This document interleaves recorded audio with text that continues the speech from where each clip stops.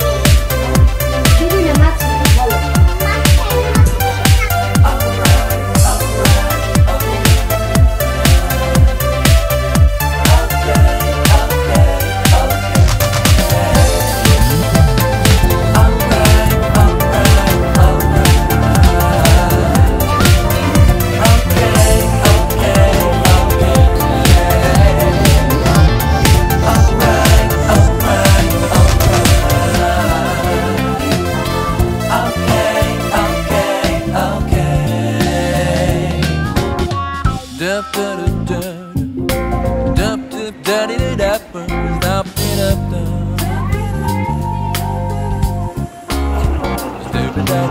Tôi đắt nhở, bên em có đắt nhở